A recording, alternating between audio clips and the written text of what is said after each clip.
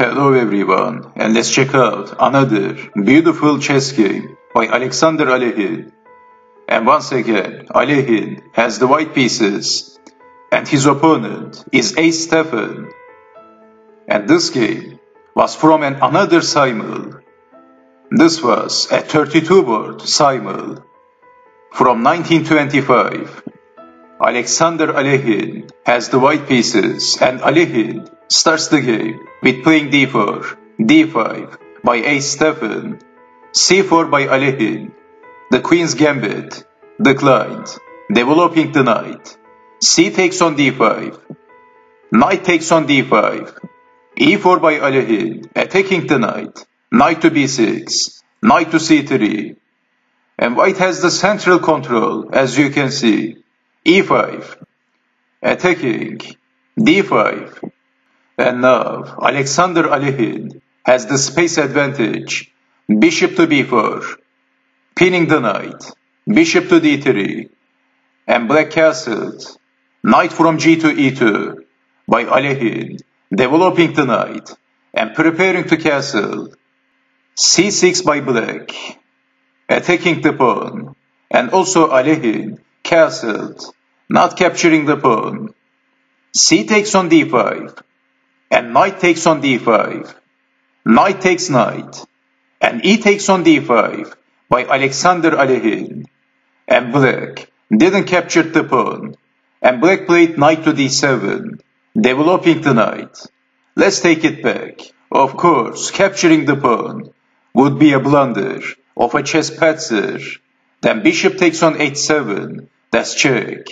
King takes on h7, and then queen takes queen and black needs to resign. So after e takes on d5, we have knight to d7, developing the knight. Alekhine played f4. e takes on f4, and capturing back with the knight.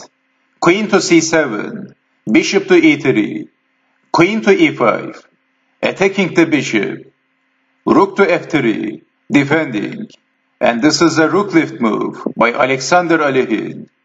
Bishop to c5, pinning the bishop. Bishop takes bishop. Knight takes on c5. And then queen to d2.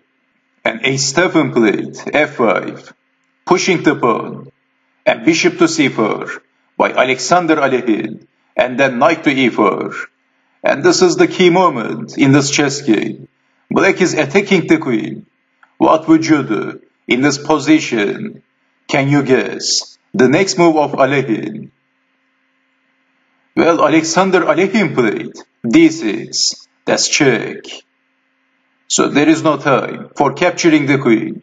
And black didn't block the bishop with the rook and then losing the rook with check. So black played king to h8. Of course, blocking with the rook was a bad move, but let's take it back. Instead of moving the king, black should play bishop to e6.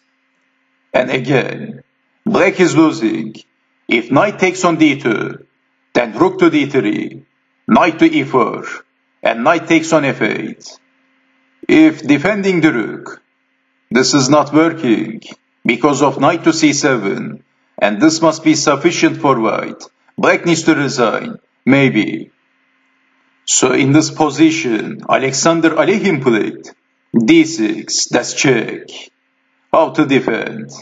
Black is defending the king, king to h8. And again, what would you do in this position? Can you guess the most accurate move? Alekhine played a killer move, and after that move, Black has no defense. Black is losing the game. But can you guess the move? Well, Alexander Alekhine sacrificed his knight, knight to g6 by Alekhine, sacrificing the knight. And now what? This is also forking the king and the queen. But most importantly, there is no other move than capturing the knight. Black captured the knight, h takes on g6, the only move. And then there is checkmate in one move. Alekhine played rook to h3, Checkmate. This is checkmate. at move 21. Alekhine once again punished his opponent because of playing inaccurate, bad moves. What a beautiful chess game by Alexander Alekhine. Well, obviously, Black King can't escape because of the light square bishop, which is holding on g8. And Black can't also block the rook, so this is checkmate. What a beautiful chess game by Alexander Alekhine from a simul, from a 32 board simul.